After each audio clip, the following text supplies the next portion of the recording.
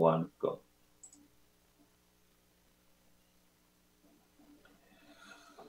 Salaam alaikum. Welcome to this evening's seminar on nutrition and fitness during the COVID 19 pandemic. The World Health Organization indicates that good nutrition is essential for not only mere survival, but also for physical growth, mental development, and productivity performance. From pregnancy, while an unborn child is in its early stages of fetal development, through to birth, infancy, childhood, adolescence, and then finally adulthood, adequate and appropriate nutrition plays a fundamental role in a human being's health and well being. Similarly, regular and adequate levels of physical activity reduce the chances of a variety of health risks and are a key determinant to an individual's energy balance as well as weight control. Ordinarily, both nutrition and fitness are key facets to good health. However, under the strain of the present COVID 19 pandemic, they're even more important, as many of us are living a sedentary lifestyle and may not be giving as much importance to a balanced nutrition. To that end, we have with us Sister Anar Aladina, a registered dietitian, and Sister Zehra Alibai, an independent health, wellness, and fitness professional. Both of these ladies are from our community and quite well known to all of you.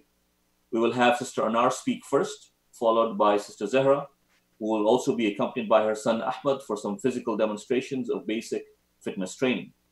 After their presentations, we'll inshallah open up our lines for questions. Please submit your questions online using the Menti code on your screens, and we'll try to tackle as many of your questions as possible. So without further ado, I'm going to pass it on to Sister Nar. Assalamu alaikum. Thank you so much for the introduction. I'm just going to share my screen. All right. So thanks for everyone who's joining. Um, today, I'm going to be speaking about prioritizing your nutrition during this COVID 19 pandemic. So, to start, I just want to start off with this quote um, Take care of your body, it's the only place you have to live. And I think right now, with everything going on, there's so much uncertainty with everything. Um, the one thing that we do have control over is our health, right? So, really paying attention to what you put in your body, how you move your body is so important. So, a little bit about myself I'm a registered dietitian. I'm also a certified diabetes educator, and working in diabetes is where I saw firsthand how important nutrition is for our health. There's no cure for diabetes, so your lifestyle is a form of medication. So, really focusing on what you eat and how you eat is so important. And I saw that firsthand working in, um, in diabetes. I'm also a clinical dietitian at the MedCan Clinic, which is currently um, at like not operating at full capacity, so I'm not there currently. And I also have a private practice here in Richmond Hill. Okay, so to start, I wanted to talk about the immune system and kind of give you a big picture of what exactly the system is made up of, because some people are, are confused. So the immune system is not a single entity. It's actually made up, it's a complex system, and it's made up of skin, or sorry, tissue, cells, and different organs. So these are a few of, of um, parts of the immune system. So we have our lymph nodes. One thing that's missing here is the mucous membrane, which is around the nasal cavity. Then we have white blood cells, which may, many of you probably do know that that's part of the immune system. We have our spleen, we have the respiratory system, we have our skin. So, our skin is the, our largest organ, and this is the first line of defense when it comes to protecting ourselves. And then we have our stomach and our intestines, so our GI tract. This is a huge role. So 70% of our immune system actually resides in our gut bacteria, like in our gut walls. So this is a big um, area as well that we need to focus on when we're when we're looking at immunity. So I know this term boosting immunity has been thrown out so much, and I really wanted to speak about it. Um, it is a marketing term. You know, sometimes you'll see foods or supplements being like, oh, boost your immune system. But the thing is, you don't necessarily want to boost your immunity. Okay. And I'm going to explain that. So I want you to think of the organs, the tissues, the cells that's part of the immune system. I want you to think of it as bodyguards. Okay. So we don't want to increase the number of bodyguards that we have. We just want to inc- increase the quality of the bodyguards. Because if we increase a lot of the bodyguards, they get confused and then they start fighting each other. And this is exactly what happens in our body. And it's, it's known as autoimmune, an autoimmune disorder or issue. So, autoimmunity is when your immune system is not balanced, so the scales are tilted. So, you always want your immune system to be balanced. So, when you're boosting something, you don't necessarily know exactly where that's being boosted, right? Because the immune system is so complex. So, you want to just make sure you, you're having like a strong immune, immune system. So, some examples of autoimmune disorders that many of you have heard of is um, type 1 diabetes. So, type 1 is completely different from type 2. Type 1 is when you don't have enough insulin in your body. So, your cells are attacking each other. So, that's why you need insulin to put in your body. Another immune system or autoimmune disease is lupus, is when your organs are attacking each other and there's a lot of inflammation. Another one is uh, celiac disease. So that happens in your GI tract. So people are not able to tolerate gluten. So the small intestine is completely damaged from celiac. Um, and that's because the immune system is off and they're fighting each other. Okay, so boosting your immune system is not always a good thing. You want your immune system to be balanced. You don't want it to be under, you don't want it to be overactive. You want it to be in equilibrium. So in today's presentation, I'm going to be talking about how to strengthen your immune system. Okay, so those bodyguards, we want to make them as strong as possible. So how do you do that? So this is what you need to need to know how to boost or not boost, sorry, strengthen your immune system. So hygiene, smoking or vaping, your diet, which is what I'm going to be focusing on, exercise, how you move your body, which is what Sarah's going to be speaking about, your sleep. You want to aim for seven to nine hours per night of quality sleep.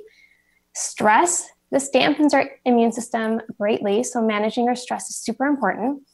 And with age. So the thing is, all of the above you have control over. But the last one, obviously, our age, we don't, right? So as we get older, our body ages as well. So our body's not able to fight as much as it could as, you know, when we're younger. So age is something that works not in our favor. However, by eating well, exercising, sleeping, managing your stress, you're able to age, you know, in a healthier way. So that and and that helps um, if you take care of everything else and how you age. And that's why with COVID 19, you know, people who are over the age of 60, they're kind of at a high risk category. And those who have an immune disorder or compromised immune system, they're also at a, they need to be very careful. So, with nutrition and immunity, I just want to say there's no supplement or a single food that has been proven to help treat COVID 19. Right now, the two main things that will help prevent COVID 19 is social distancing, which we're all doing, and regular, regularly washing your hands. So, this is the only way we can prevent and reduce the spread of COVID 19. However, your diet, especially looking at foods that improve your cellular health, which is what I'm going to be focusing on today, can have a huge impact as well. So, I'm going to be focusing on foods that are including fruits and vegetables, fiber, lean protein, and heart healthy fats. So, the first nutrient is vitamin A. So, vitamin A promotes growth and development, especially with our vision, and it protects our tissue, our skin, and our mucus. Okay, so all of these tissues and organs are, are needed for our immune system and helps with the health of our cells. So, it's our cellular health that we really want to pay attention to. So, vitamin A is found in a variety of foods. So, liver, which I know is not commonly eaten, but it's a huge source of vitamin A. Same with beef, um, eggs, cheese along with fruits and vegetables are have like an orange or reddish tint to them, as well as fruits and veggies, or mostly veggies that have beta, beta carotene, such as leafy greens. So these foods are really important for your cellular health, right? For your growth and keeping things in track, intact. So the second nutrient that we want to focus on is vitamin C. So vitamin C we get in fresh or not fresh, it could be frozen as well, in produce. Okay, so our fruits and vegetables, that's where vitamin C is highly concentrated. So, vitamin C is a water soluble vitamin. So, we don't store it in our body. So, you know, we get it and then we use it up. And vitamin C is a powerful antioxidant, specifically with our skin. So, growth of collagen protects our skin. It also aids in the absorption of iron and it protects the body of any kind of free radical damage. Okay, so remember, skin is our largest organ And that's our first line of defense. So, vitamin C is vital for our skin. So, a lot of um, beauty products, especially for anti aging, we see vitamin C because it really does help with our skin rejuvenation. So, that's what it does in our body as well, right? With our cellular health. So, vitamin C is super important. And again, vitamin C is found in fresh um, and frozen and canned as well uh, fruits and vegetables. Then we have zinc. So, zinc is a mineral and it's found in all our cells. And its main job is to fight invading bacteria and viruses. Okay. The body also needs zinc to make protein and DNA, which is the genetic material in our cells. So it's really interesting because one of the new, I don't know how new it is, but one of the symptoms of COVID 19 um, is that your sense of smell and taste are impacted. So zinc is actually like uh, I don't want to say responsible, but it plays a huge role in how we perceive t- and taste. So it was just interesting to see that connection. So zinc, there are lots of foods that contain zinc. Usually it's protein based. Um, so animal foods are a great source, especially oysters or seafood, but as well as poultry, cheese. Um, some plant based zinc sources include cashews, seeds, nuts, milk. Um, salmon, and also dark chocolate. So these are foods that are high in zinc. Now, zinc is one of those minerals that, you know, as children are growing, their needs are higher or they change. In times when you're pregnant, your zinc needs are also higher. So zinc is really important for growth, for for the growth of our cells and the growth of our body. So this is something that we want to make sure we're including daily in our diet. And the last nutrient that I'm going to be speaking about is vitamin D. Okay, so vitamin D is very important. So it's vitamin D is so important that it acts more like a hormone in our body than a vitamin. And vitamin D is actually the only vitamin that our skin or our body can actually make. So it's made in our skin. When we hit, uh, when sun hits our skin, it converts into vitamin D3, which is the active form. So vitamin D is really important for your immune system. Okay, it helps protect specifically to your respiratory tract, okay, any respiratory illness. Um, it also helps with growth and development of bones and teeth. It regulates the musculoskeletal system and also is really important for cell, um, the, cell, the health of your cell, for cell growth and human cell.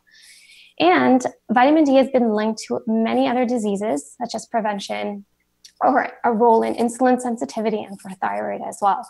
So interestingly, vitamin D is only found naturally in two food sources. It's only found in fatty fish and in egg yolks. Egg yolks. Um, but here it's it's fortified. So our dairy foods are all fortified with vitamin D because again, vitamin D is really important for our teeth and for our bones. So it's fortified in our food supply. So any kind of milk, so it doesn't have to be cow's milk, plant milks, almond milk, oat milk, they all have, they're all fortified with vitamin D and our dairies as well, and some some orange juice too. So I wanted to just take a minute to talk a little bit more about vitamin D because this is so important, and a lot of us are not getting enough in our diet. So this is the one vitamin that everyone should be supplementing. Okay, so like I explained earlier, so we have the sun, the UVB radiation hits our skin, so our skin needs to be exposed to sun. So if you're someone who wears hijab, you know, that's a barrier. So you're not getting enough vitamin D. Also, if you live in Canada, right, uh, our sunlight changes throughout the year, so we don't get a lot of sun. Um, being in shades, wearing clothing, also wearing sunscreen. We're supposed to be wearing sunscreen. So our absorption from the sun is very minimal. So it's so important that everyone gets their vitamin D levels checked. Um, this, I think, OHIP doesn't cover it, but you can pay, I think it's $10. I'm not really sure. And you can get it tested to see where you stand. So I got my vitamin D t- levels tested last year and I was under. Um, so I've been trying to remember to take my supplements for that, but it's so important. And like I said, it, it acts more like a hormone in your body. So when you think of vitamin D, I want you to think of it like a light switch. So we have vitamin D receptors throughout our body, like everywhere. And so when, like a light, when you turn it on, everything is working more efficiently. So that's how you want to think of vitamin D. Okay, it helps with so many different things, especially um, when it comes to your respiratory tract as well and for your cellular health. So, when it comes to these nutrients that I spoke about, so my whole philosophy is you want to start with food first, right? So that's always a better option than supplementing. Because when we eat these whole foods that I spoke about, some of them did overlap. But not only are you getting those nutrients, you're also getting in fiber, you're getting in phytochemicals, other plant compounds that really help your overall health, especially the fiber piece. Um, I mentioned earlier that the immune system, a large part of it is concentrated in our GI tract. So making sure we have good, healthy bacteria, which we get from fiber, is going to help with that. So supplementing is a safety net, but it's not something that you want to rely on. You want to make sure you're getting a wholesome diet. Um, some supplementation, like for example, vitamin A, it's a fat soluble vitamin, so it's stored. We don't excrete it readily. So if we have too much of it, it can be toxic to us. Um, vitamin C is water soluble, so you don't need to worry about that so much. Zinc, again, if you have too much of that, it could be a toxic effect. And same with vitamin D. So that's why you want to make sure you get your vitamin D tested to see where you're at. Um, majority of people that I see at the clinic are always low on vitamin D. So, you know, you want to be taking about a thousand to two thousand international units of vitamin D, and some people take upwards of five thousand as well, depending on um, what their doctor is saying. Okay, so my number one nutrition tip, it's nothing fancy. Um, the one thing that everyone can do to improve their health is to cook more meals, right? To cook more of your meals. Um, this way, you know what you're getting in, you know what you're putting into your food. You're able to be more mindful of some of the foods that you should be including in your diet. So, I wanted to put this all together. Um, okay, so I wanted to put everything together to show you what it looks like to include these foods that have the vitamin A, the vitamin C, and the zinc. Okay, so I have some ideas for breakfast, lunch, and dinner, and there's I have a variety, so hopefully it can everyone can kind of relate to what they would choose. so so from breakfast ideas, you could do like an egg sandwich. So again, eggs, the yolks specifically, it's high in vitamin D, but also a lot of zinc as well. You got your whole grains um, and your your uh, fruit and veg fruits or sorry vegetables here, which is tomato and spinach. If you're not able to eat eggs, oatmeal is another great source, another great whole grain that has that zinc in there. Fresh berries um, have high vitamin C content, and they have the most powerful antioxidant capacity, so that's amazing, right? And again, you could you don't need to use cow's milk; you could do almond milk for that to make it vegan. And then you have toast, right? So instead of using butter on your toast, you can give it a nutrient boost by using an almond butter or peanut butter. Again, you're getting more nutrients that way. And you know, putting some fruit, avocado, and banana are great sources as well. And some chia seeds or hemp hearts, again, to boost the protein and to boost the fiber. So for lunch, some examples. Again, you want to think about getting your fruits and veggies in. Um, and they don't have to be necessarily raw. They could be cooked. So soups are fantastic to do that. You can get a whole variety. So again, the vitamin A that you get from the orange, like the sweet potatoes, the carrots, really want to maximize on that. Even doing a cold lunch, for example, a wrap or a salad, the egg, tuna, chicken, it could be a vegetable based salad, and really trying to take that opportunity to put in, you know, the leafy greens, some veggies in there as well. And then you could just do like a chicken and protein. So these like frozen vegetables, for example, they're just as nutritious as nutritious as fresh, um, even more so because they're stored in the freezer.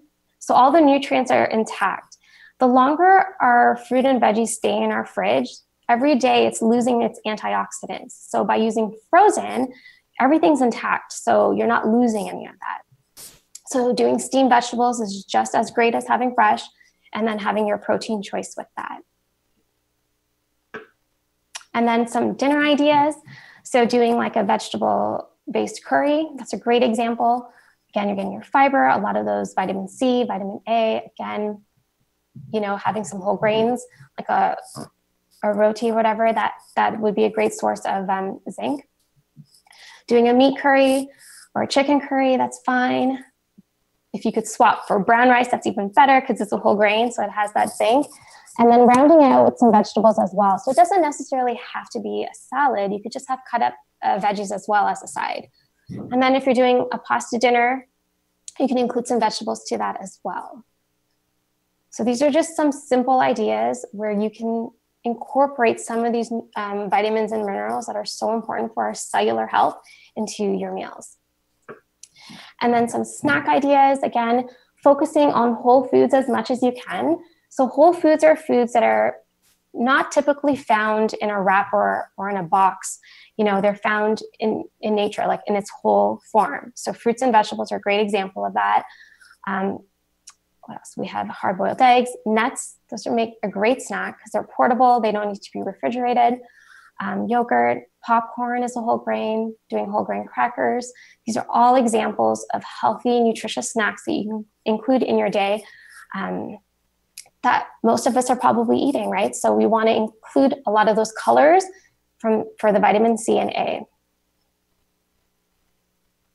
So with everything going on with COVID-19, um, you know, there are some, there is a silver lining to that as well. I know it's a time that's really tricky for so many of us. We don't know the uncertainty, what's going to happen with our health, our jobs, our bank accounts. It's like a stressful time for sure. But you know, we have a little bit more time, and one of the biggest barriers I get from some of the people that I work with is the time factor. So we have the time right now to focus on our health, right? We can learn how to cook if that's something that we're not used to doing um, plan out your meals. You can actually sit down with your family to have meals now, three meals. Um, you know, everyone usually is always so busy and there's always somewhere to run to. And right now we have that time. So really make use of it and have your meals together and get your family involved with cooking and with the meal planning. That's just as important. You know, food is so much more than just nutrition. It's spending time with the family, it's preparing your meals, it's getting everyone involved. And also, this is a great opportunity to try new foods or to try out new recipes. I think so many of us are cooking more, and I love that because that's one of the best things you could do for your health. So, thanks for listening. Um, we're going to be taking questions at the end. So, I'm going to pass it on to Zara, and she's going to be talking about the fitness. Uh, thank you, Sister Anar. Uh, appreciate the uh, insightful presentation. We'll now pass it on to uh, uh, Sister Zahra. Assalamualaikum, everybody. Thank you, Anar. Thank you, Brother Akil. So I'm just going to share my screen and hopefully we'll get this working. Is that good? Can you guys see it? Uh, no. Can you? No? Okay. the screen share.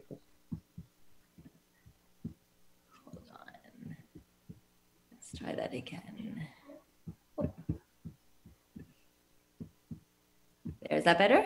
Yeah, that's good. Yeah? Okay. All right, perfect. Okay. Assalamualaikum, everybody. Thanks, Anara. I learned a lot with that. Um, so I just today I'm going to talk to you about how you can stay active during quarantine. So my name is Zara Alibai. I'm a kinesiologist, personal trainer, fitness instructor. Um, I don't know how many of you guys have maybe done a class. Um, one thing I'm missing a lot during quarantine is my weekly seniors class. So I hope some of you guys are on here. And um, I promise you, inshallah, at the end of this, we'll get moving a little bit as well. So I just wanted to take a second to talk to you guys about um, just staying active during quarantine. And I first wanted to un- acknowledge that right now it is a time of uncertainty. A lot of us don't know what's going on. We're out of our regular schedules. And um, now it's been about a month. And I think a lot of us started with just like, okay, we're going to take this time. We're just going to, you know, try to. Um, first of all, I think a lot of us are like stuck on screens and stuck on the news or whatever that is. And we're out of our regular routine. So even if you were, you don't think you were active before, you're probably not as active now because you're not running your regular errands, right? So if you're going to the gym, you're not getting to the gym, right? You're not going to your fitness classes. You're not moving around, even if it's just going to get groceries or going to get the mail or walking to visit someone, right? We're not doing those little active tasks that we do all day. Um, you might be feeling anxious, low mood, upset, frustrated, right? Like Anar mentioned, there's so many uncertainties right now. And sometimes that can really put a damper on your mood and any type of motivation you might have to get up and to get moving. And that's very, very normal. And I think a lot of people are going through that right now. Um, so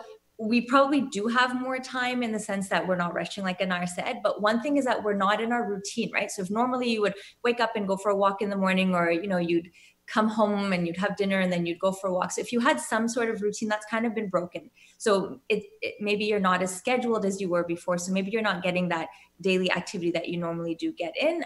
And I know a lot of us were in apartments or we don't have space where we can get up and move around, right? Where if we're in apartments, we're afraid to take the stairs, we're afraid to go outside, right? So um, you don't have the space. And lastly, you might not have the equipment that you're looking for to stay active. All right, so next, oops, sorry. Okay, so um, staying active. Um, so right now with COVID-19, this pandemic, it's forced so many of us to self-isolate, right? That's the number one way we can stop the spread. And alhamdulillah in Canada, especially, we're doing our job. The numbers are going down. So um, the the, it's shown that with self with social isolation or social distancing, we're making a difference in terms of that. So that's great, but that shouldn't prevent us from being active, right? So exercising at home to maintain your fitness right now, or even if you want to try and get into some sort of routine, it can actually help increase your activity levels, and then this will keep your body in shape and it'll keep you healthy. But more than anything, it'll keep your mind active as well, and that's the most important part. So staying active can help boost your immune system and decrease your risk of, risk of getting sick.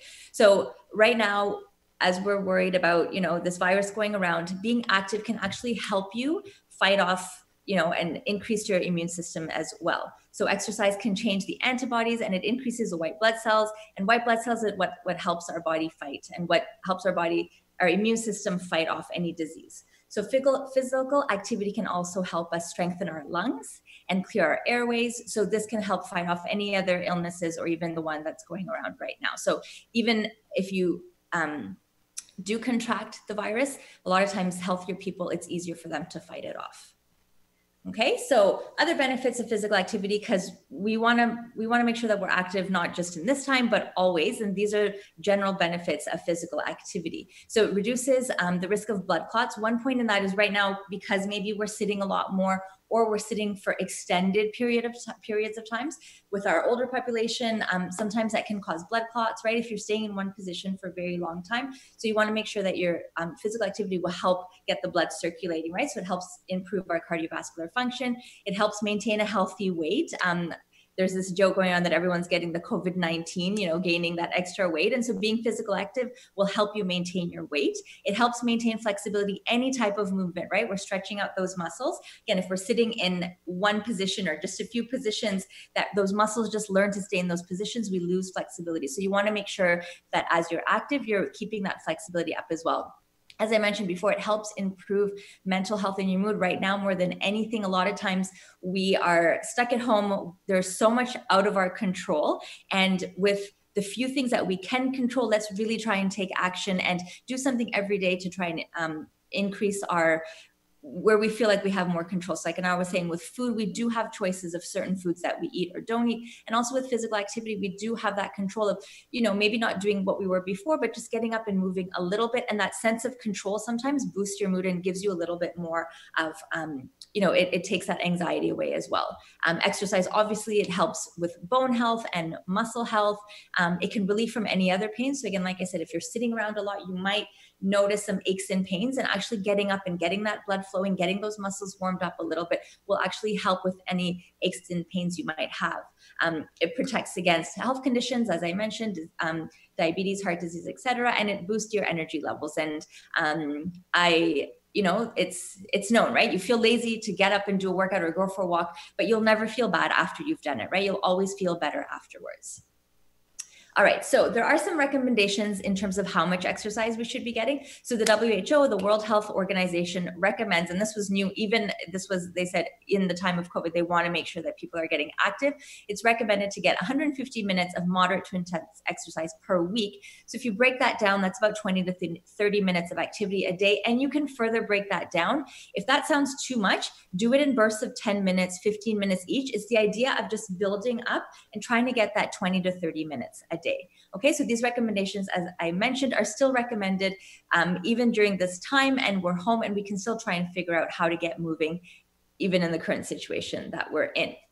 So, ways that you can stay active during a quarantine, there's so many different ways, right? You just have to get a little bit creative. So, if you're sitting a lot, just make sure you're standing up, taking you know, little breaks. Alhamdulillah, with us, we have our times of salah, and I think that helps us get up, move around a little bit, right? So use those times if you're getting up and you're going to pray, or if you're, you know, make some sort of routine and it doesn't have to be overly, you know, I'm going to walk around the house a few times. When you're talking to someone on the phone, make that a time for you to walk around instead of sitting, right? So a lot of times um, we just get used to these acts and um, you know we just sit and we talk a lot i know a lot of us are connecting with family which is great but if you're talking on the phone maybe just you know do it while you're walking around and that can just in, that can um, increase the activity, physical activity that you're doing. Stretching is really important. Like I said, a lot of times um, even us, we take a lot of times we're watching, you know, we're watching shows with the kids, we're sitting, we're enjoying, we're reading more, but um, it's important to get up and to move the body and to stretch as well. Yoga is great as well. And again, like I said, it doesn't have to be, there's no specific thing you have to do. If there's some moves that you've seen or you've done in a class that feel good to you,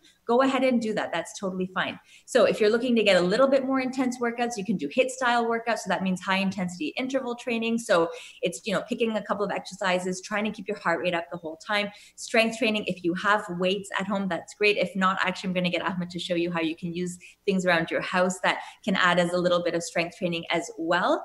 Um, we're just like we're doing this online. Um, we're so lucky to have so many resources to online um, classes, videos. So um, you can go on YouTube. You can search up, um, you know, like simple yoga stretches. You know, I've done I've done a few um, videos for the seniors, something that they can do at home, things like that. Um, if you are able to, you could go for a walk. We're still allowed to go out as long as you're keeping that social distance and um, you know you're not going to crowded places.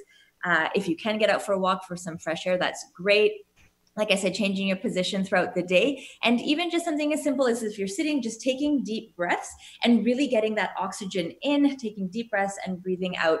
And that is definitely something that can help as well to just like I said, change, it just changes your state. It gets you out of a position that you might be in for a very long time gets you up and moving and breathing. And another thing you can do is just be sure to include your family in what you're doing as well, right? So um, a lot of times, if you know, if you're going for a walk or if you're just doing little rounds around the house, try to get your family involved. You know, we, um, I've got young kids as well, try to get them moving as well. Just simple things.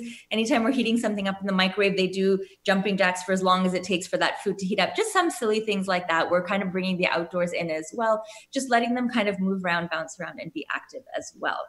So what we're gonna do now is we're gonna do a little demonstration. So this is perfect because you guys are at home, so you don't have to be shy about who's looking around. Hopefully you have enough space around you. So what I'm gonna get you to guys to do is I'm gonna get you guys to stand up. I've got Ahmed over here. Do you wanna come say alaikum, Ahmed? so this is Ahmed. He's gonna give us some exercises that we can do. So this is something that everybody can do. He's gonna show um, modifications as well. So I'm gonna get everybody to stand up. We're just gonna move back a little bit. So you guys can see him.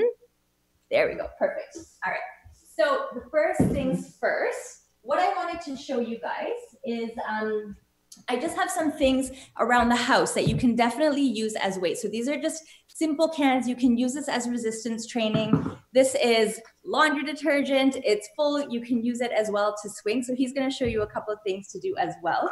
But we're just going to do about five to six exercises whether you have this stuff with you or not, all you need is a little bit of space, and we're going to go through it. All right. So, Sister, Sister Zahra, can I, can I suggest that you stop uh, sharing your screen? Oh, yeah, sorry. Full view of Ahmed, please. Of course. Thank you.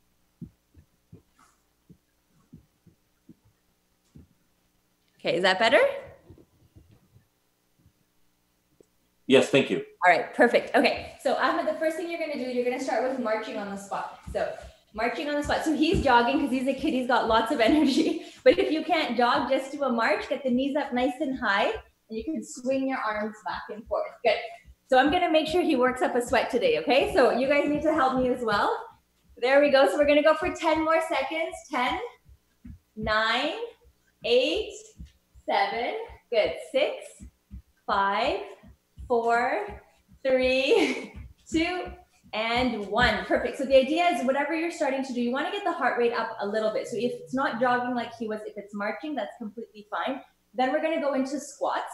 So he's going to go sideways so he can show you. You want to keep your chest tall, hands outside in front of you, and just like you're about to sit on a chair. Good. So you want to keep the weight in your heels. We're going to go for 12 squats. So sit back. Good. Try to keep your chest tall. Two, three. Good. So if you can't go as low as him, just go a little bit. There you go. Good. Try to keep your chest tall. Good. So don't go as low. So just show people who can't go as low. There you go. Good. We'll go five more. Five. Up. Four. Good. Three. Two. And one. So what this does, it works the legs, it works the quads, keeping your core nice and tight. And then what I'm going to get you to do is just walk side to side. Okay, so we're going to do a lateral side to side. Get a little bit lower. Good. So what this does is move the work the muscles on the outside and the inside, the inner thigh and outer thigh. There you go. Good.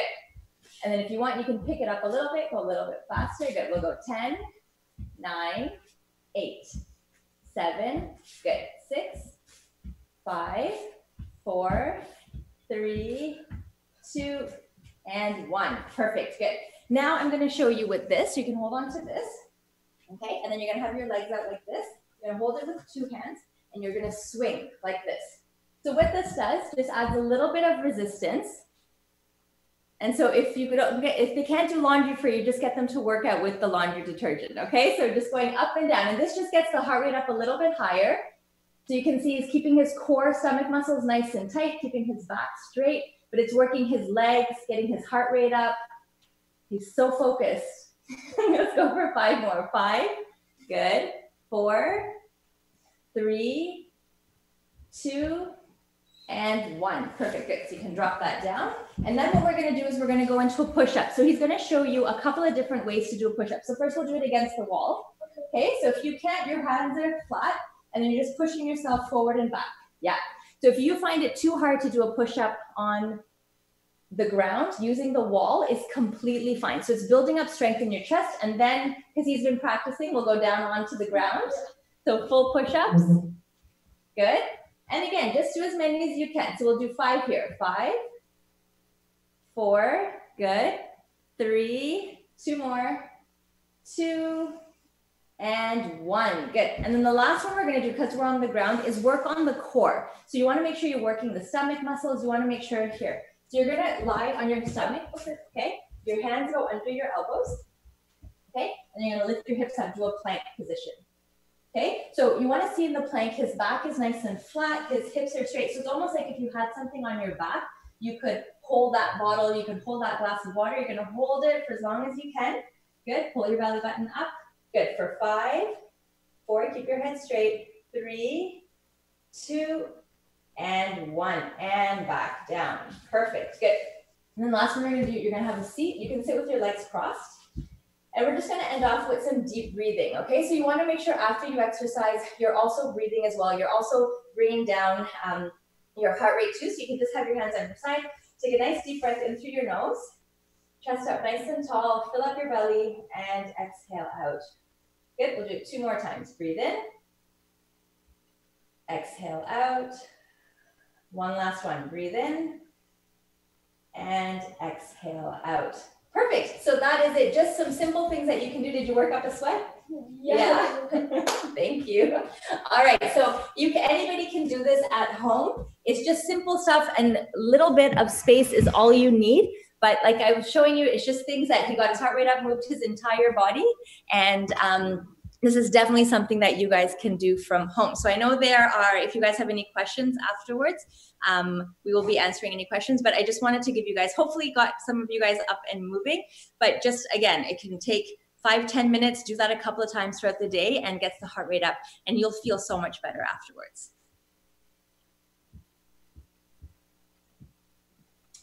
Okay, um, thank you for, for both of those presentations. Um, Uh, we have uh, a couple of questions that have come in already. So uh, I'll, I'll, read out the questions and, uh, and request, uh, I guess, the, the appropriate individual to, to respond. Um, first question was, or is, how can I maintain a healthy eating when it's so tempting to to buy all of the food that's there or or even you know snack at home um, how can I maintain a healthy, balanced uh, eating habit? So, if I can maybe get Sister Anar to respond to that question, please. Yeah, sure. That's a great question. No, absolutely. You know, being out of a routine, especially being at home all the time, you're surrounded by food, right? So that's a great and a valid question.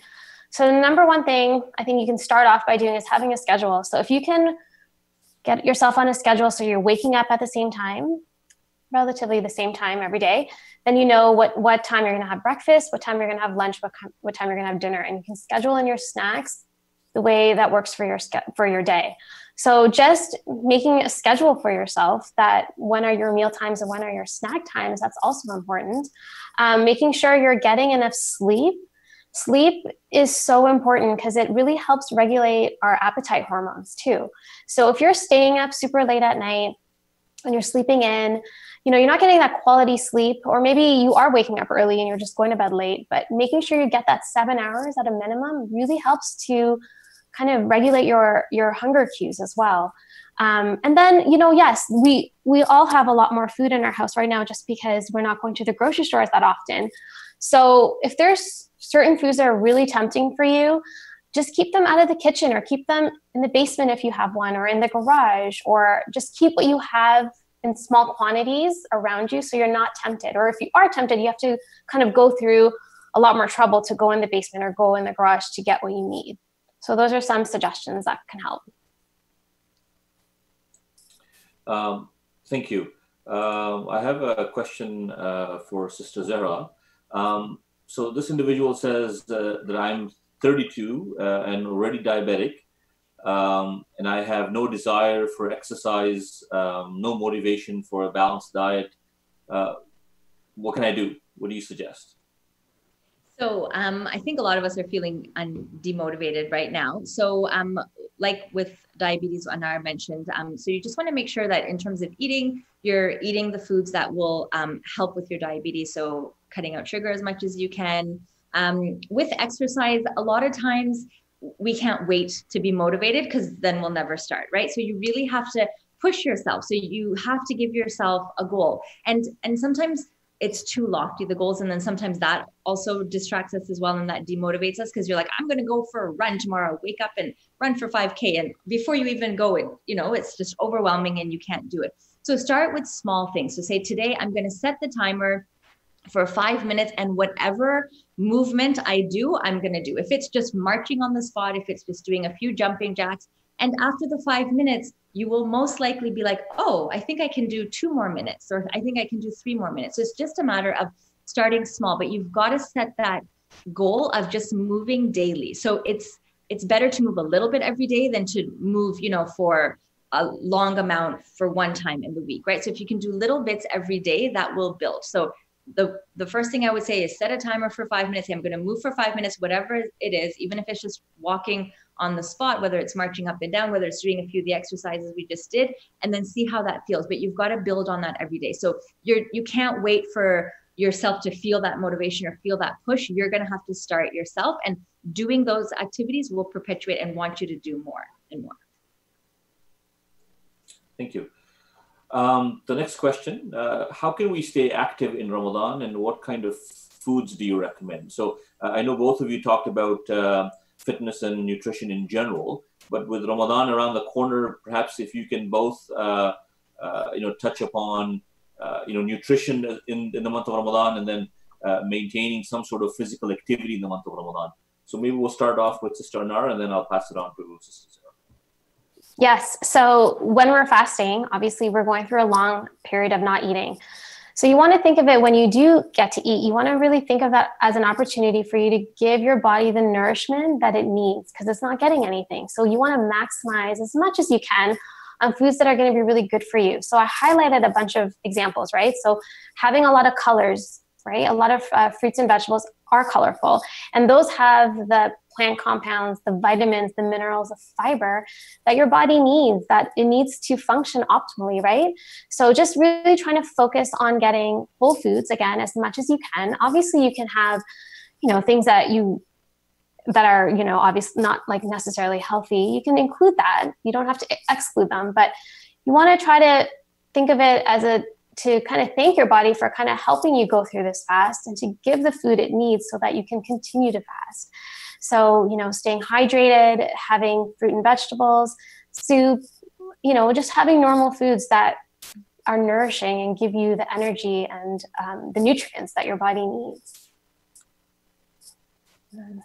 Yeah, I agree with that. Um, I, you had mentioned as well, staying hydrated. I think um, another thing in terms of nutrition, I'll just add to that is just being prepared or having a game plan. So for us, you know, we now I think this Ramadan will be home a lot more, so we'll have time to cook our iftars. But maybe for daku, for suhoor, try to have a few things on hand. So whether it's overnight oats or some things that are already made that you can grab that are highly um, nutritious and really like dense in nutrition. So that would help. And in terms of physical activity, the fasts are really long. Um, you have to understand that it is a time where you might not have the energy to exercise as much but um, the two main times i would say where it probably is best to be active is um, again this ramadan we won't be having um, you know mosque as much so maybe um, right before iftar if you can go for a walk you know the idea of um, knowing that you're going to be eating soon sometimes gives your body this idea of i can push a little bit more. So if you are working out or if you're just going for a simple walk or trying to get some physical activity the times that are best to do it in ramadan are right before iftar and then you can pray have your um, you know have break your fast have your water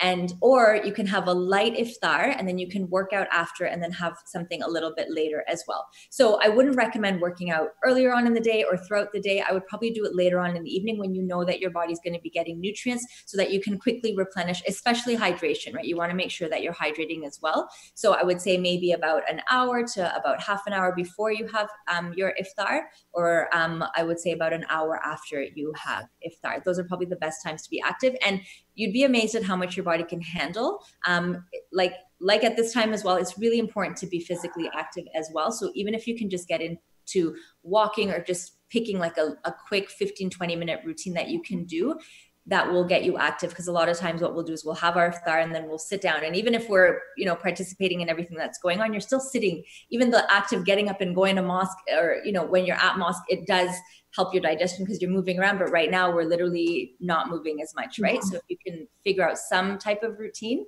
um, that can help you stay active during ramadan. Thank you. Um, so two questions uh, two separate questions but i'm going to direct them both to sister zehra um, one is uh, the, the first question is um, for, for someone who has osteoporosis, can you recommend uh, some physical activity for someone who, who has osteoporosis? And the other question, not exactly related, but I'll, I'll share with you anyway, and maybe you can answer both of them together. Uh, what are the best exercises for someone who has weak knees? Uh, is there something, some, something that you can substitute for squats and lunges? Okay, sure. So for osteoporosis, it's um, for the bones, right? So a lot of times, what you want to do is any type of weight bearing activity where you are putting weight on the bones that's going to help strengthen them right? So like we did squats marching on the spot um, if you can do like the side steps we were doing things like that any type of weight bearing activity that's going to help strengthen the bones. Start small and then what you're doing is you're strengthening the bones and you're also strengthening the muscles around the bones as well. So don't i mean again based on your doctor's recommendations but you can do physical activity. You can do simple things like squats and lunges and push-ups. Just go nice and slow. That will help strengthen your bones and that will also help um, strengthen the muscles around your bones. And then maybe and I can talk a little bit in terms of nutrition of what types of foods can help with osteoporosis and bone health. Um, in terms of knee pain, a lot of times what it is is we might have weak knees, and what you can do is you can strengthen the muscles around the knees. So if you can't do a full squat, do half a squat. Even um, I'll I'll kind of show you here, even just exercises where you're sitting back and to show you simple ones where you're just even sitting and you're just kicking out your leg like that what that does is it helps strengthen the muscles around um, the kneecap so that can help as well and you just want to make sure that you, you know there's a saying right you don't if you don't use it you'll lose it right so you want to try and figure out ways that um, will help strengthen the the the joint without injuring it. So if you can do walking, if you can even just go up a few steps and back down, things like that, make sure you're still working those muscles so that the muscles are strong and they can help support the joint. Uh, thank you. Uh, Sister Anar, um, so maybe I'll have you answer um, that, that uh, question about osteoporosis and what you'd recommend for uh, healthy bones. But in addition to that, maybe I'm going to pass on two questions to you. Um, the viewer is asking that I can't stop craving sweets. Mm-hmm. Uh, what do you what do you recommend in that regard? And mm-hmm. the second question was: Is there a limit uh, on the quantity or amount of eggs that I can eat on a weekly basis. Okay. So let me address the egg question first. So if you don't have any cholesterol issues, um, you can have an egg a day. So seven whole eggs a week is absolutely okay. If cholesterol is an issue and you need to be mindful of that, then I would say no more than four whole eggs a week. So that's kind of the standard. the second or the other question that you had mentioned about the sugar, yes. So if you're constantly craving sugar, that's a sign that something in your diet is lacking. That could be that you're not getting enough protein in your diet. Okay, so protein is what keeps you full. So the more protein you have, the longer your body takes to digest it, right? So you're full for a longer stretch of time. Secondly, you want to make sure you're getting enough fiber in your diet. So fiber is another nutrient that really keeps you full. So fiber, when we ingest fiber, and fiber is found in all in plant foods. Okay, no animal foods will have fiber in it. So fruits and vegetables, nuts and seeds, beans and lentils, those are foods that have fiber. And when we ingest them, they expand um, and they take up space. So that really increases the satiety as well. So when you have enough fiber and protein, those two nutrients are going to help with curbing those sweet cravings. So, I mean, that's just like a general recommendation. So you really want to pay attention to how much protein you're getting in. You want to make sure at every meal you do have a protein component, and then you also have that fiber component as well that's what keeps you full and really helps with the sugar cravings. And again, you know, with sugar cravings, it's also sometimes for some people, it's so easy to just cut it out. Um, and once you kind of cut the sugar out, the added sugars, um, it really retrains your taste buds and then you can kind of introduce it back in. So that's one another effective way to kind of curb the cravings. Thank you. Can you also uh, comment oh, yeah. on the bone health? right. So for osteoporosis, so again, Vitamin D is really important. So I'm sure that individual is taking vitamin D supplements, which really helps with their bone health. But this is really important for our younger generation um, to, to remember that you need to take your supplement or make sure you know what your vitamin D levels are so you know if you need to, because that's very important for help our calcium get absorbed in our body. Because you can be having a lot of calcium, but if it's not getting properly absorbed, it's not really doing anything for you. And then for osteoporosis, I know there's um, certain medications that you do need to take for your bone health. And again, just having a good diet, making sure you're getting in your calcium, your vitamin D, and an overall healthy diet is, is, um, is important too. Thank you. Um, so the, the, next two questions I'm going to pass on to uh, Sister Zara. Uh, first one is that I'm fit, uh, but I can't do push-ups. Um, what's the reason for that? That's the first question. Second question is from a young mother or a new mother. Um, she's saying, you know, how do I stay active when I have a three-month-old infant? Um, maybe if you can give us some advice for uh, for for new new mothers with young children. Yeah, for sure. So the first one, um, I, I am guessing it's a female. I know females have lots of trouble with push-ups, and it's just our upper body strength. A lot of times, it can be actually your wrist health as well. So make sure that your properly warming up your wrist before you do push-ups. A lot of times it's a lot of strain on our wrists and we might have the strength in our arms, but the wrists are weak. So it's really important to just make sure you're keeping that flexibility in the wrist as well. And a lot of times we're on our phones, we're like this, so our wrists are always in this position. So you wanna make sure that you're also stretching out the wrist as well. And with the push-ups, um, you wanna make sure that you're in a straight plank position. So your core is involved as well. And um, a lot of times using those supplemental muscles as well will help with the push up. And like Ahmed was showing, starting on the wall and then working down to maybe like the edge of a counter or something, and then slowly, gradually working down to the ground.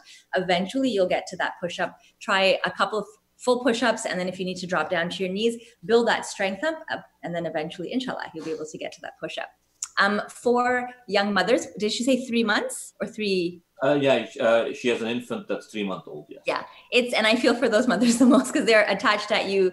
Um, it's really hard to get in. Um, in any type of exercise with them and also you're not sleeping well so you know it's you're you're tired all the time. But the best thing i would say is you know three months is old enough for them to sit there. And i think it's such a great way for you to set an example for them to see you being active. So even if you're just doing little things holding them doing squats like you know doing um, fun little things while they're around um, just kind of incorporating them into your activity any way you can. Like it's not going to be perfect. You're not going to get a full 20 minute 30 minute routine with them. But i think it's so nice for them to be able to see you being active. And as they grow up it's a really nice thing for them to see their moms being active so whether it's you know you're playing with them and you're getting down on the ground with them and you're playing and they're sitting on your lap and you're doing some sit-ups things like that um, it can be a fun way for you to interact with your kids and like you said even if you're going for walks they can be in the stroller you can go for a good brisk walk um, build up your strength that way as well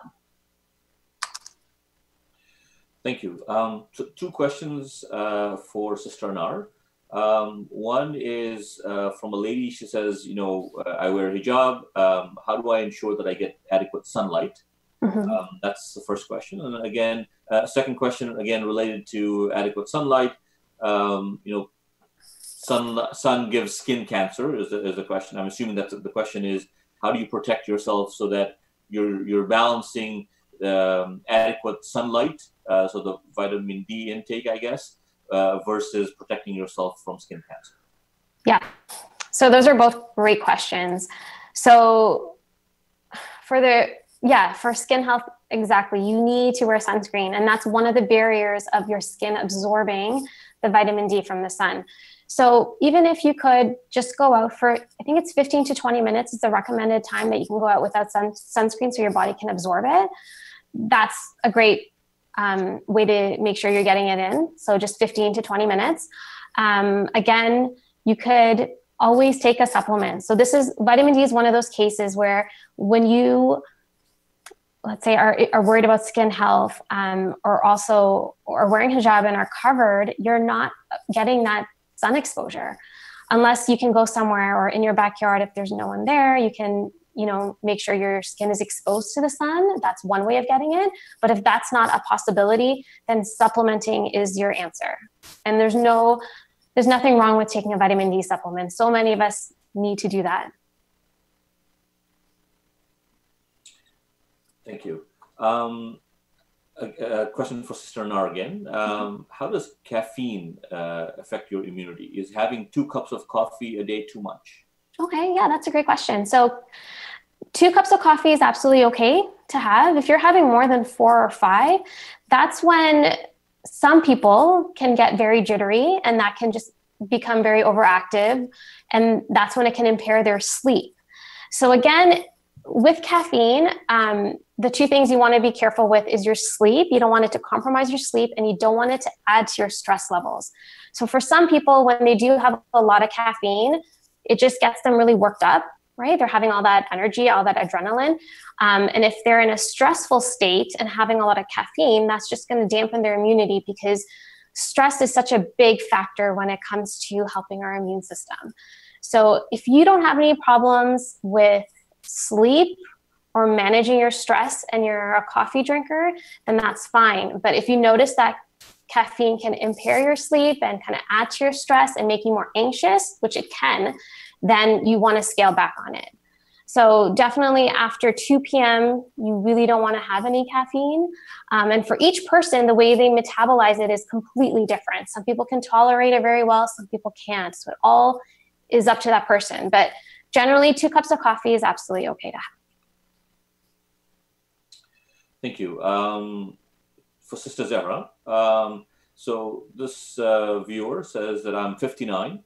Um, I have breathing issues, uh, no motivation for exercise. Uh, what do you recommend for someone, I guess, who's almost a senior, um, perhaps is having some difficulties breathing? Uh, what kind of modified exercises would you recommend for, for someone uh, like that?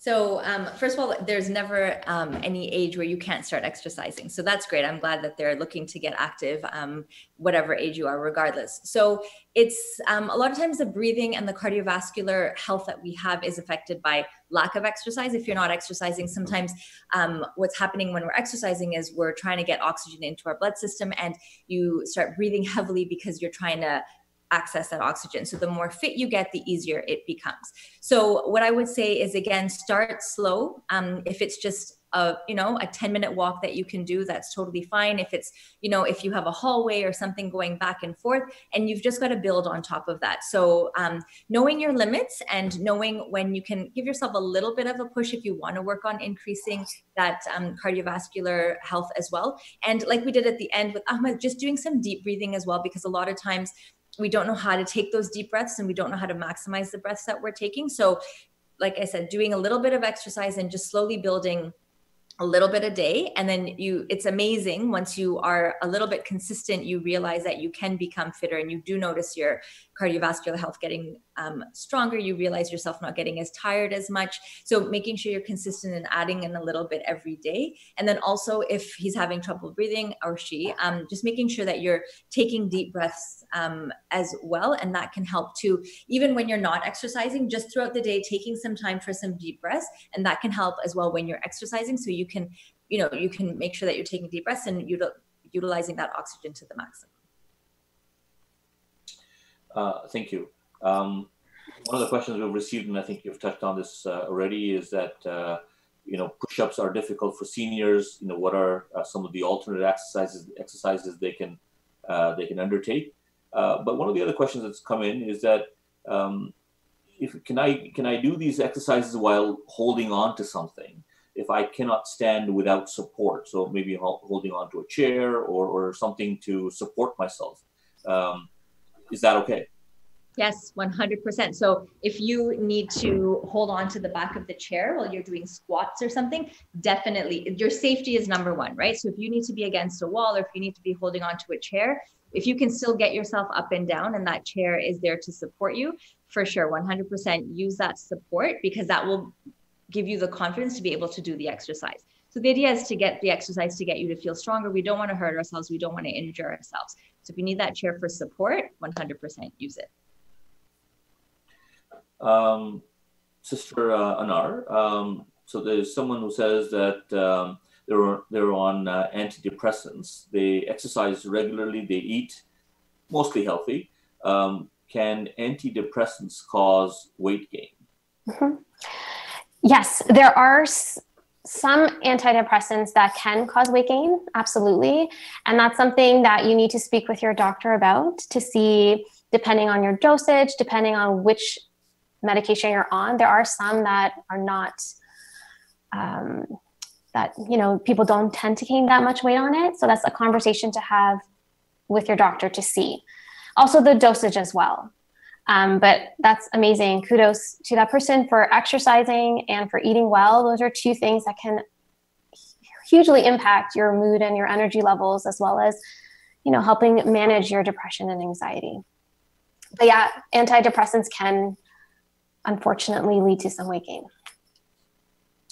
Thank you. So, uh, two more questions uh, for Sister Anar, uh, both related to zinc. Okay. When you take zinc, uh, should you be balancing it with copper?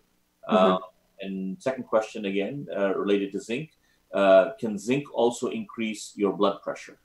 Okay. So with zinc, it depends on how much you're supplementing with and what your diet currently looks like.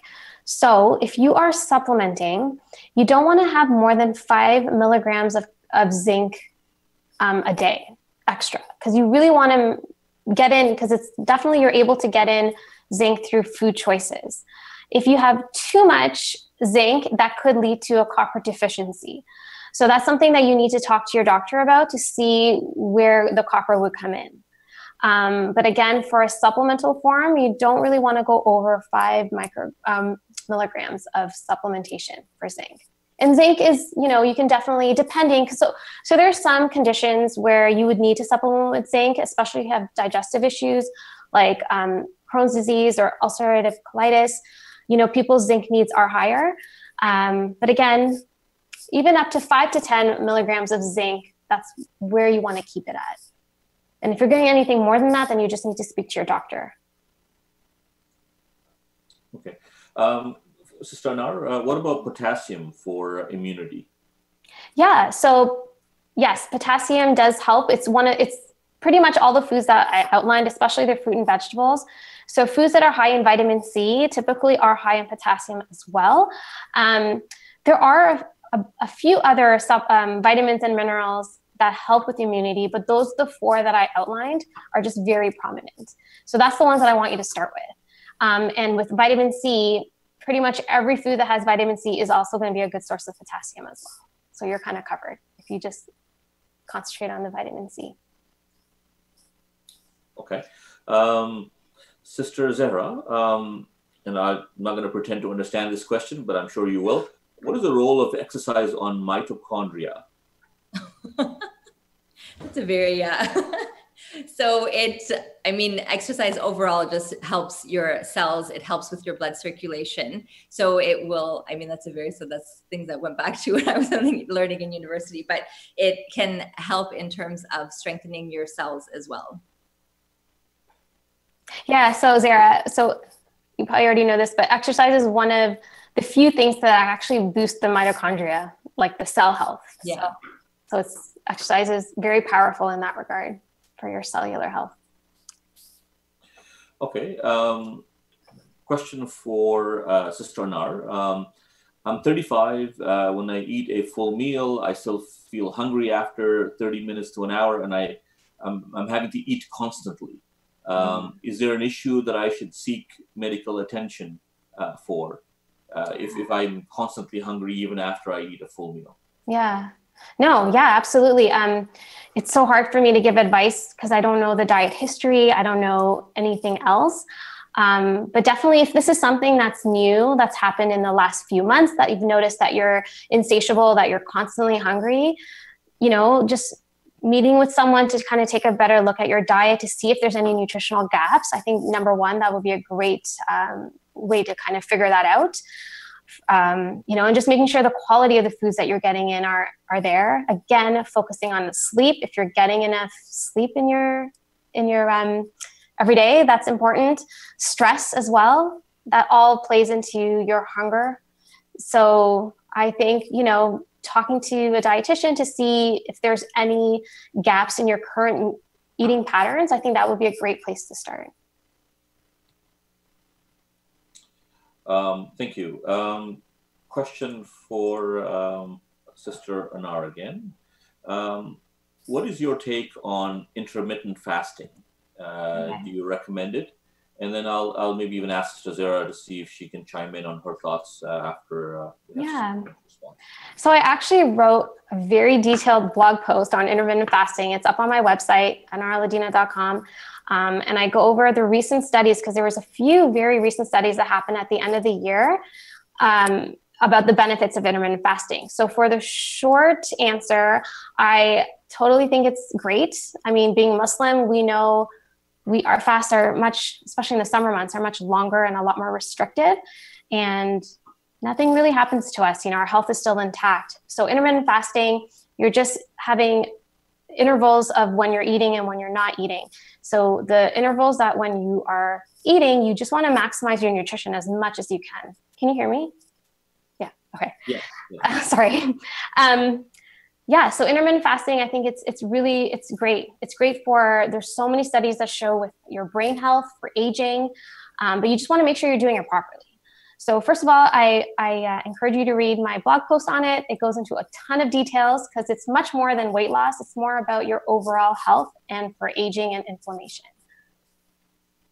So I don't know if Sarah had anything to add. Uh, yeah, Sister Sarah, do you want to add anything? Um, no, same thing. I get a lot of people asking me in terms of weight loss and health benefits. I think one um, way it can help is even a couple of the questions that Anar got was that sometimes if like for us we know we're not allowed to eat right when we're fasting. So it just kind of stops you from snacking and eating without really thinking consciously of what you're eating. Um, and I'm sure Anar's article goes into detail but yeah just trying to figure out what window of eating works best for you and trying to figure out the time as well. Making sure you're staying if you're not fasting obviously in terms of ramadan making sure you're staying hydrated as well when you're in intermittent fasting. And exercise i'll add to that while you're in intermittent fasting just making sure again a lot of people can exercise on an empty stomach but some people can't. So you have to play around and see what works best for you in terms of if you are going to be exercising in that window when you're not eating or you know when you're coming out of your fast. So making sure that you know there's different things that work for different people but in terms of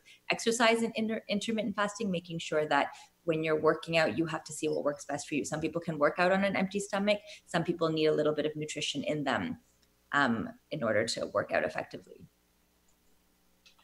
Thank you. Uh, sister zara uh, if if uh, for someone who has fibromyalgia with aches and pains uh, and finds it very difficult to exercise um, what do you advise? Well, what's your advice for someone uh, with that condition? That's a tough one. That's and again, it, when someone suffers fibromyalgia, it's uh, it's different. It might be different every day. It might be different for different people. So maybe your idea of exercise may be different than what someone else's idea of exercise be. Whether it's just even sitting on um, your bed or in a couch and just making sure you're able to stretch out. Sometimes it's just making sure that the muscles are still being able to move and getting that blood flowing. Um, you've got to see what works best for you, but just keeping some sort of activity. So it might not be a vigorous jog or you know the type of exercises we were showing before it might just be simple stretching moving of the body. It's important to keep the body moving because that can also help with reducing pain as well. But again just taking it nice and slow and just getting to know what your body can do but trying to move your body a, a little bit every day will help. Sister Nar, did you want to add anything to that? Yeah with fibromyalgia um, again even looking at your food, right? Because some of the foods can cause inflammation. So just keeping a, a journal to log in um, when you have fibromyalgia. Some days are better than others, some days are worse. So just keeping a, a log to see, you know, when you had a good day, what foods you had then, and try to kind of be consistent with it. And again, yes, just moving in general is so important for your joints. Thank you. So uh, it's almost uh, 10 o'clock, and I'd like to wrap it up by uh, 10 o'clock. So we'll take a couple more questions. Um, this one's for Sister Nar. Uh, with protein shakes, can you add uh, dairy, like regular milk? Uh, usually, in most recipes, I see that they say you should be adding dairy free milk. Mm-hmm. wondering um, what your thoughts are on just adding regular regular milk. milk? Yeah. So Absolutely. You can use whatever milk you like. Um, a lot of people are intolerant to dairy or don't like it. So that's why that's always an option. But having, if you're able to tolerate cow's milk, then that's great. It's a really good source of protein. Um, out of, I think soy milk is the one right after that that's highest in, in protein. But cow's milk, yes, a lot of good protein in it. And if you're able to tolerate it, then yes, absolutely you can enjoy that. Okay. Um, for Sister Anar again, uh, you know, we know that birth control pills uh, have an effect on our hormones. Uh, do they cause weight gain? Uh, mm-hmm. And if so, how can I tackle that? Okay. So there are so many different types of uh, birth control pills on the market. There are some that have very little weight gain. So that's a conversation. If that's something that, you know, if weight gain is um, something that's really important to you, then having that conversation with your doctor to see which pill would be the best one to prevent weight gain, and there are, um, that would be your best choice. Um, sorry, was there another part to that question? Uh, no, that, that was. Oh, it. yeah. But if there's any way that you can not use birth control, that would be ideal. Um, I know that's not for everyone, but if you can kind of you know, not be dependent on the birth control, then that would be your best bet because that way you're not putting any hormones in your body and you have control over of your whole system. Uh, again, a question for Sister Anar. Uh, in terms of collagen, as, uh, are there any recommendations uh, on collagen in liquid form? Uh, I mostly see powdered forms uh, out in the market. Okay. So I've only seen powdered ones as well. Um, Zara, have you seen any liquid collagen? Um, I have seen some liquid collagen, yeah. But is there a difference in its absorption? I don't. Um, okay, uh, another question I had. Um, actually, you know what? Um, what I'm going to do, I'm just going to ask one last question uh, to both um, uh, our, our uh, presenters. Um, and and then you know we'll have them both answer, and then we'll wrap it up. And and uh, you, you have seen the contact details of both Sister Anar and Sister Zara. uh, at the end of their presentations. You know, please uh, do feel free to reach out to them if uh, your questions haven't been answered. We, I think we've answered most of our questions, of, of the questions that have been submitted to us. But the question I'd have for uh, for both our presenters, uh, you know, many of us are overwhelmed by all of the suggestions uh, of changes that we need to make in our own lifestyles. What are the sort of top three pieces of advice that you could give to our viewers? Where do we start? sometimes when you know you're faced with a, uh, a huge presentation with lots of recommendations uh, you don't even know where to begin um, and sometimes you know all it takes is a few baby steps to get started so if you were to recommend the top three things um, to our viewers that you would suggest from a nutrition and fitness standpoint what would you recommend? Okay so i'll go first. Um,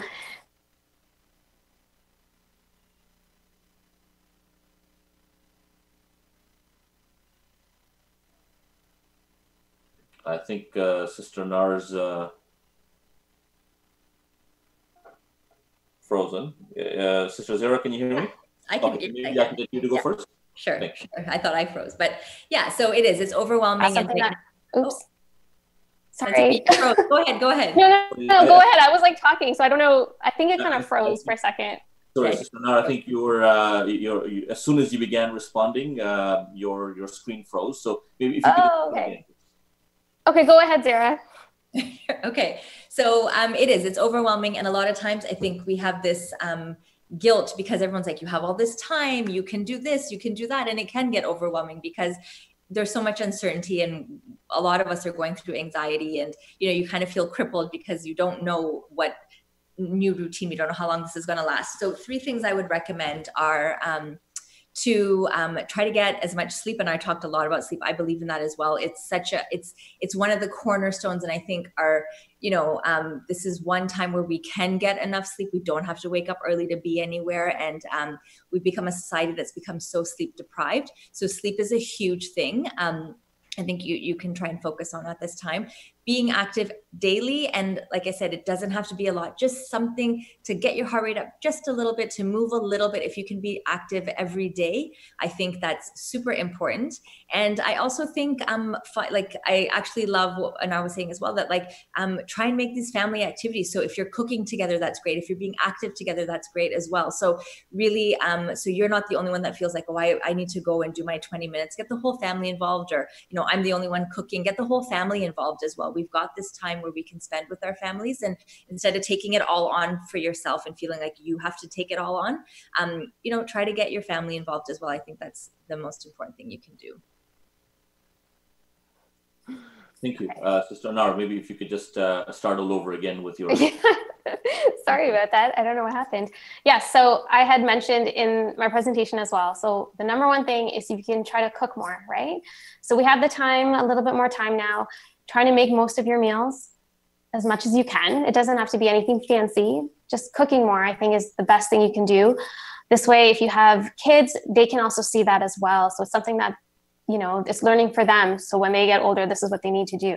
So cooking more of your meals, number one. Number two is try to focus on getting your vegetable intake in. Okay. A lot of people don't have problems getting fruit in, but with vegetables, try to aim at least two out of your three meals to have a vegetable component. Um, it could be cooked, raw, you know, it could be a soup, it could be a smoothie. Just try to get some of those vegetables in because there's so many good nutrients in that, right? It has a lot of fiber, a lot of vitamins and minerals. And and lastly, just yes, just some you know, just take your time while you're eating as well, just to help with your digestion. So digestion occurs in our mouth when we chew, and a lot of us don't chew our food enough, you know? So even just counting how many times you chew. So try to aim for 10 chews before you swallow. Just slowing down and being more mindful can really help with digestion and it can also help with your hunger cues as well. So just being a little bit more mindful, getting more veggies in, and cooking more of your meals. Thank you.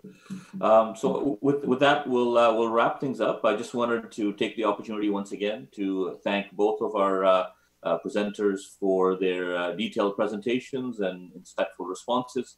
Um, we had over 300 viewers, I think, tuned in to our presentation this evening. So I'm sure the audience benefited tremendously from your uh, presentations. But I think we'll all agree that the star of today's presentation was definitely Ahmed. um, and therefore, we'll request a salawat from, from everybody for Ahmed. And with that, inshallah, uh, stay safe. And inshallah, we'll uh, stay tuned for our next program, inshallah, next Monday. Wassalamu alaikum jami'an wa rahmatullahi wa barakatuh. Assalamu alaikum. Thank you very much.